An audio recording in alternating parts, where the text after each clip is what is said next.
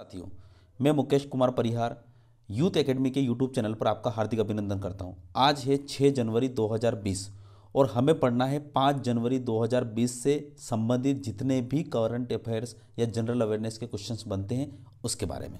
तो चलते हैं हम हमारे आज के पहले क्वेश्चन की तरफ़। पहला क्वेश्चन है, हाल ही में किस राज्य सरकार ने के रेरा, क्या है? के रेरा के रेरा का शुभारंभ किया है। तो के रेरा का शुभारंभ किसने किया है? के यानी एक ऐसा राज्य का नाम बताइए जिसका नाम के से शुरू हुआ। बिल्कुल आपने बहुत अच्छा गैस किया, वो है केरल। कौन सा राज्य है? केरल। के रेरा का शुभारंभ किया है, वो है केरल। अब यहाँ पे जहन में उठता है, ये केरेरा है क्या? तो के का मतलब होता है क्या का? के का मतलब होता है केरला। और रेरा का मतलब होता है रियल इस्टेट रेगुलेटरी अथॉरिटी।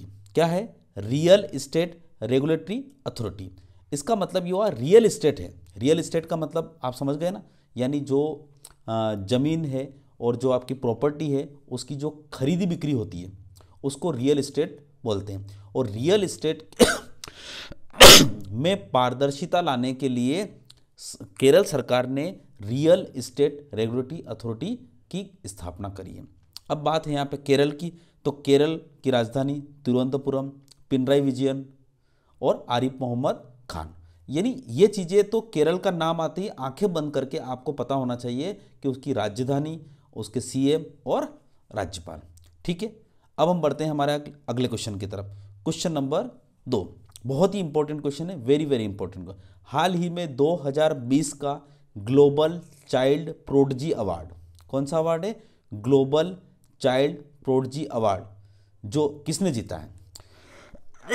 अपने यहाँ पे जहन में बहुत सारे क्वेश्चन उठते हैं। ये ग्लोबल चाइल्ड प्रोडजी अवार्ड क्या है?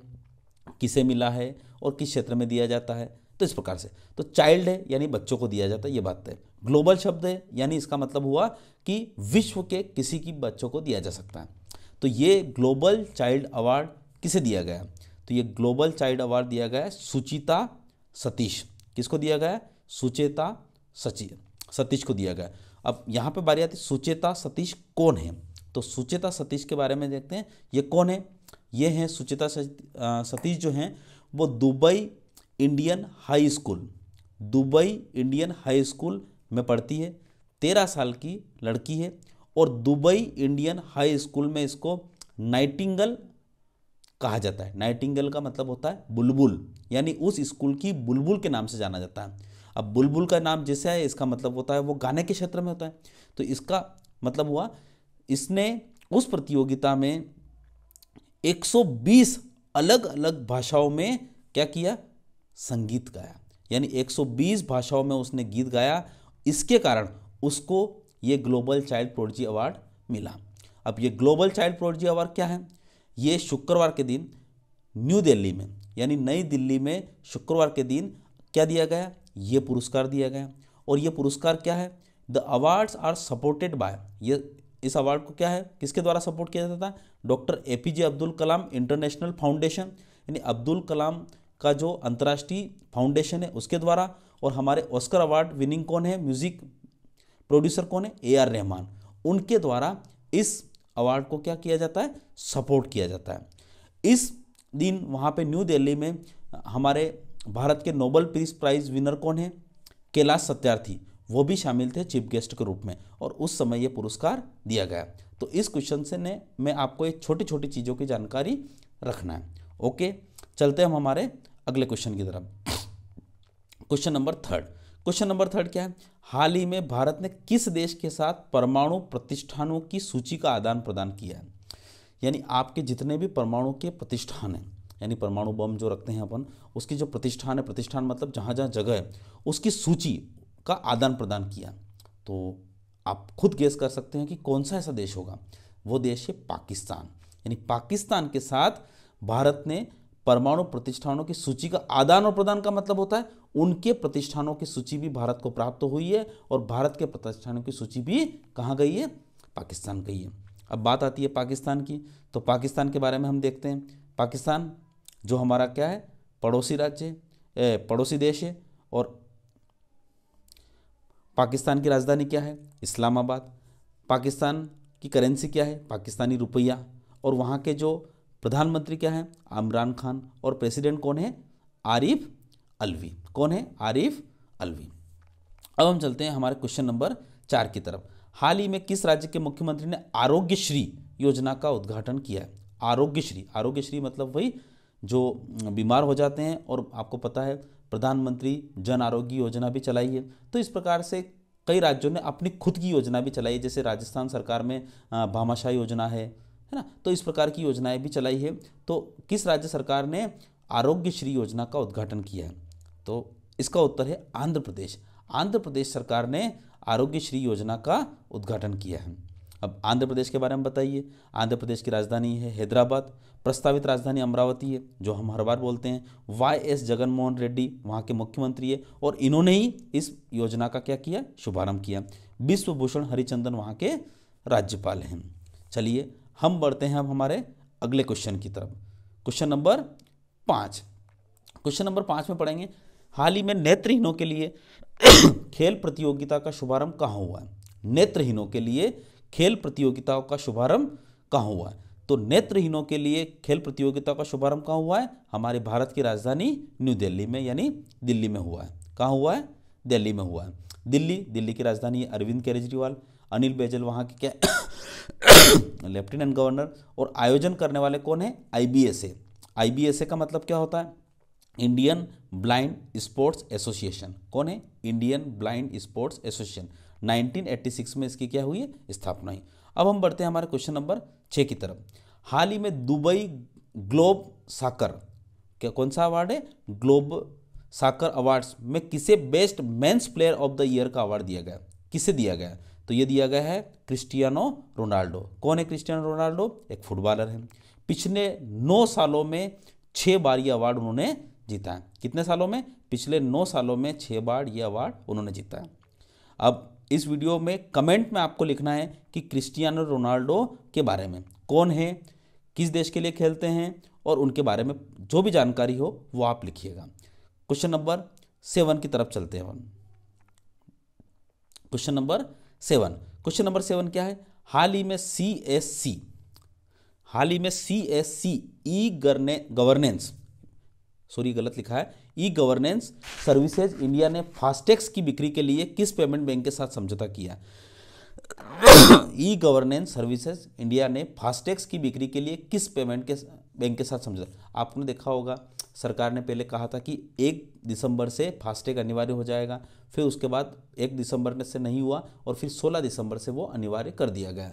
इस प्रकार से फास्टैग फास्टैग का मतलब होता है जो टोल प्लाजा होता है वहाँ पर आप, आप कार लेके जाते हैं तो आपको पता है कि आप अगर उस टोल प्लाजा के पंद्रह किलोमीटर के दायरे में अगर नहीं रहते हैं तो आपको वहाँ पर नेशनल हाईवे पर पैसा चुकाना पड़ता है है ना? टोल फ़ीस चुकाना पड़ती है। टोल फ़ीस में वहाँ पे खुलने की दिक्कत आती है कई सारी चीज़ें सरकार ने वहाँ पे आपको एक फास्टैग लगा दिया है यानी आपके ड्राइवर के पास वाले जो शीशा होता है, उस शीशे पे वो फास्टैग लगेगा और उस फास्टैग से वहाँ पे जो सेंसर होंगे उसको रीड कर लेंगे और आपका जो प्लाजा होगा, जैसे थर्टी एट रुपीज़ है, फिफ्टी सिक्स रुपीज़ है, वो डायरेक्ट आपके अकाउंट से वहाँ पे डिडक्ट हो जाएगा। अब फास्टैग का मतलब जिस प्रकार से आप मोबाइल में रिचार्ज करते हैं या फिर अपने टाटा इसका उसमें रिचार्ज करते हैं, उस प्रकार से उसमें रिचार्ज करना पड़ेगा और उस रिचार्ज के लिए किस पेमेंट बैंक से उन्होंने किया है तो पे ए पेमेंट बैंक। आपको पता है पे ए भी क्या हो गया एक पेमेंट बैंक हो गया और उसके साथ उन्होंने समझौता किया है। ठीक है? तो किसके साथ किया है? पेटीएम पेमेंट बैंक अब सीएससी का मतलब क्या होता है? कॉमन सर्विसेज़ सेंटर यानी कॉमन सर्विसेज़ सेंटर जितने भी हैं भारत में, उन सब में के लिए किस पेमेंट बैंक से साथ समझौता किया फास्टैग की बिक्री के लिए तो पेटीएम पेमेंट बैंक अब हम चलते हैं हमारे अब क्वेश्चन नंबर आठ की तरफ़। हाल ही में सोलर पार्कों की स्थापना के लिए भारत ने किस देश को पिचहत्तर मिलियन अमेरिकी डॉलर का ऋण दिया है? यानी भारत ने किस देश को पिचहत्तर मिलियन अमेरिकी डॉलर का ऋण देने की घोषणा करी? तो सोलर पार्क, यानी जो सोलर एनर्जी के लिए लगाते हैं तो किस देश? क्यूबा। क्यूबा को पिचहत्तर मिलियन अमेरिकी डॉलर का ऋण देने की घोषणा अभी करी है और उसको ऋण दिया है। अब क्यूबा के बारे में पढ़ते हैं तो क्यूबा क्या है? एक देश है और क्यूबा की जो कैपिटल है वो है हवाना। करेंसी उसकी है, क्यूबान पेसो क्या है? क्यूबान पेसो, और वहाँ की जो प्रेसिडेंट है, वो है मिगुअल डियाज कैनल। कौन है? Miguel Diaz Canel. अब यहाँ पे बात आती है कि ऋण दिया है तो ऋण किसी बैंक ने दिया होगा। तो भारत की कौन सी बैंक ने दिया है? वो है एक्जिम बैंक। कौन सी बैंक है? एक्जिम एक्जिम का फुल फॉर्म होता है export import bank of India. कौन सी बैंक है? Export import bank of India. 1982 में इसका स्थापना होती और इसका हेडक्वार्टर मुंबई में है, और डेविड रेस्क्यूना कौन है? डेविड रेस्क्यूना। वो क्या है इसके? सीईओ है। अब हम बढ़ते हैं हमारे question number nine and last question of the day. Question number nine है, हाल ही में इसरो ने अपना एक क्षेत्रीय शैक्षणिक केंद्र, क्षेत्रीय शैक्षणिक केंद्र मतलब एजुकेशनल, जो रीजनल एजुकेशनल सेंटर कहाँ स्थापित किया है? तो बताइए, कहाँ स्थापित किया है? गैस करिए। कर्नाटक। कर्नाटक में अपना एक क्षेत्रीय शैक्षणिक केंद्र स्थापित किया अब यहाँ पे दो चीज़ आ गई, कर्नाटक के बारे में पढ़ना है, इसरो के बारे में पढ़ना है। कर्नाटक के बारे में पढ़ेंगे हम तो क्या है कर्नाटक के बारे में? आँखें बंद करके बताइए। बेंगलुरु, बी एस येदुरप्पा और वजुभाई वाला, ठीक है? उसी प्रकार से हम इसरो के बारे में, इंडियन स्पेस रिसर्च ऑर्गेनाइजेशन 1969 इसका फाउंडे मतलब ये इसका स्थापना वर्ष है और इसका हेडक्वार्टर है बेंगलुरु और इसके प्रेसिडेंट या जो अध्यक्ष हैं वो है के सिवान। देखिए, आज आपने फिर नो क्वेश्चन पढ़े। नो क्वेश्चन को एक बार जो हमने पढ़े हैं, उसके बाद उसको एक बार और रिवाइज करिए। अब देखेंगे, आपको याद हो जाएगा। केरेरा जो से मन में आया केरेरा तो केरेरा क्या होता है? केरल से संबंधित है। केरेरा किससे संबंधित है? केरल से। और रेरा का मतलब क्या होता है? रियल इस्टेट रेगुलेटरी अथॉरिटी ठीक है? दूसरा क्वेश्चन है global child prodigy award global child prodigy award का नाम होता है सुचेता सतीश। क्या नाम है? सुचेता सतीश। 120 लैंग्वेज में इन्होंने सिंगिंग करी है। तेरह साल की गुड़िया है। अगला क्वेश्चन है परमाणु प्रतिष्ठानों की सूची का आधार प्रदान, भारत पाकिस्तान। तीसरा क्वेश्चन भी हो गया, आरोग्य श्री योजना का उद्घाटन, कहाँ किया? आंध्र प्रदेश में। चौथा क्वेश्चन भी हो गया, पांचवा है नेत्रहीनों के लिए खेल प्रतियोगिता का शुभारंभ, दिल्ली। उसके बाद, ग्लोबल, दुबई में, ग्लोबल साकर अवार्ड्स में बेस्ट मेंस प्लेयर को ऑफ़ द ईयर का अवार्ड किसे दिया गया? तो क्रिस्टियानो रोनाल्डो। क्वेश्चन नंबर सात है C S C e governance service India में फास्टैग की बिक्री के लिए किस पेमेंट बैंक के साथ समझौता किया? तो पेटीएम पेमेंट बैंक और क्वेश्चन नंबर आठ है आपका पिचहत्तर मिलियन अमेरिकी डॉलर का ऋण दिया है भारत ने। तो किसको दिया? वो क्यूबा को दिया है। किस बैंक ने दिया है? तो एक्जिम बैंक ने दिया है। एक्जिम का फुल फॉर्म आपको export import bank of India and last question है आपका, हाल ही में इसरो ने अपने एक क्षेत्रीय शैक्षणिक केंद्र कहाँ स्थापित किया तो कर्नाटक में किया है। और इसरो को और कर्नाटक के बारे में आपको जानकारी होनी चाहिए। आज हमने पढ़ा नो क्वेश्चन इन नो क्वेश्चन को एक बार रिवाइज कीजिए। हर दिन के क्वेश्चंस आपको रिवाइज करना है। विदाउट रिवीजन आपका पढ़ा हुआ 24 फोर आवर्स में बिल्कुल नील हो जाएगा। आपको भी पता भी नहीं चलेगा कि ये क्वेश्चन मेरी आँखों के सामने से कभी गुजरा है। तो कुछ मत करिए। इस जो जनरल अवेयरनेस का जो पाँच तारीख का है, उसकी पीडीएफ भी आपको मिल जाएगी इसकी और आप इसकी पीडीएफ के कारण पीडीएफ से आप अपने नोट्स में उतारिए, एक एक क्वेश्चन को उतारिए और उस नोट्स में उतारने के बाद एक कॉपी और रखिएगा, जिसमें आप सिंपल सी, जो इंडियन ऑर्गेनाइजेशन जैसे यहाँ पे इसरो आया है उस प्रकार से। और जो इंडियन ऑर्गेनाइजेशन इंटरनेशनल ऑर्गेनाइजेशन जो होते हैं, वो उनको अलग लिखिए उसके बाद हमारे जो भारत की जो इंपॉर्टेंट इम्पोर्टेंट चीज़ें, जैसे कि हमारे एक ट्वेंटी एट स्टेट्स हैं और नाइन यूनियन टेरिटरीज है, उनके बारे में भी आप लिखिए, अलग से एक बार लिख लीजिए। उनको वहीं से याद करिएगा, यहाँ से याद मत करिएगा। आपकी आँखों के सामने से पिक्चर वहीं से आना चाहिए, कहाँ से? आपकी कॉपी से। यहाँ तो हर बार कर्नाटक का स्थान चेंज होगा, जगह चेंज होगी, उसके फॉन्ट चेंज होंगे, जिससे आपकी आँखों में दिक्कत। बस आप वहीं से याद करिए और यहाँ पर उसको रिवाइज करिए। ओके आपको ये वीडियो कैसा लगा? अगर अच्छा लगे तो लाइक करिए और कहीं पर भी कोई कमी रहे तो आप कमेंट में लिखिए। हम उसको सुधारने की पूरी कोशिश करेंगे और आप अपने दोस्तों को इसको वीडियो को शेयर करिए। हम जनरल अवेयरनेस के साथ साथ अब मैथ्स और इंग्लिश के वीडियो भी बनाएँगे।